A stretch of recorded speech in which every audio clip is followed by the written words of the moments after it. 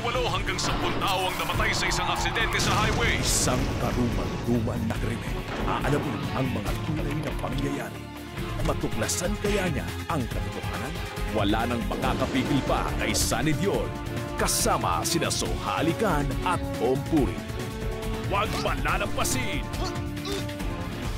Gayo, once again.